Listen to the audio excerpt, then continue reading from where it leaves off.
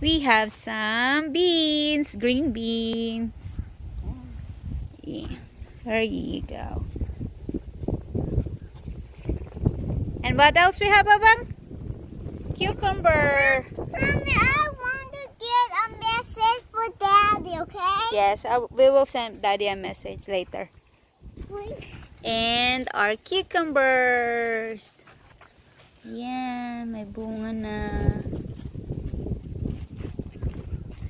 Eto, wala pa. And tomatoes. Maliliit na tomatoes. Bitty ones.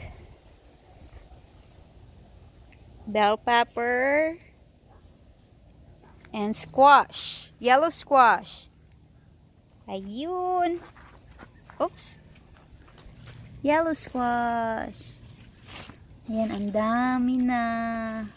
And this is okra. Where?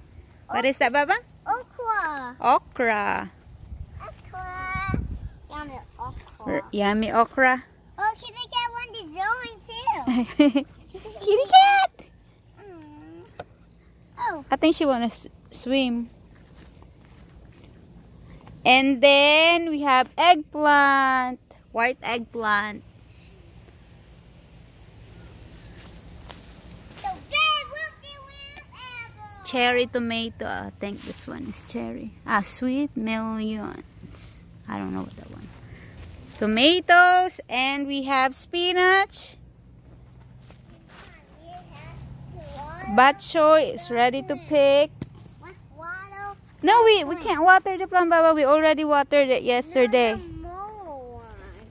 And we have... No, we already eat that. We already harvested yesterday, Babang. Yan, nag-harvest na ako ng apat nito. Kasi ready na siya. Ayan, nag-ano na oh. Maliit lang to kasi.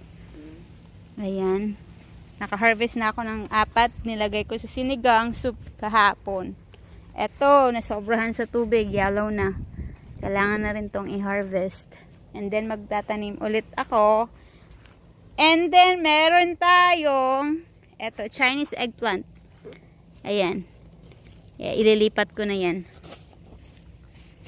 Diyan sa may space pa kasi dyan. Oh. Ililipat ko yung eggplant. Meron tayong basil and rosemary. Ayan, madami na naman tayong green beans. Pwede na ulit mag-harvest. Ayan, ang dami na guys. Ayan, mayroon pang maliliit. Ayan. Pwede ko na yan i-harvest. Ito naman ay ang cucumber. Meron na tayong dalawang malaking cucumbers. Ayan. Hmm. Etong isa, wala pa yan. And meron na tayong kamatis. Ayan ang ating kamatis.